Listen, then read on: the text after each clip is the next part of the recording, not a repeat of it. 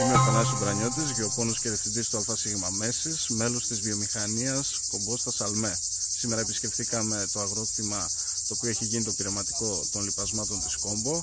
Έχουμε παρατηρήσει το πρώτο στάδιο των αποτελεσμάτων του πειράματος. Τα αποτελέσματα είναι άκρως ενθαρρυντικά σε σχέση η σύγκριση της ποιότητας του μάρτυρα με των σειρών που έχουν εφαρμοστεί τα λοιπάσματα αυτά είναι εντυπωσιακή.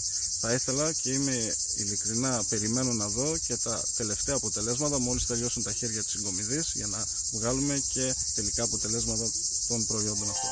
Thank you.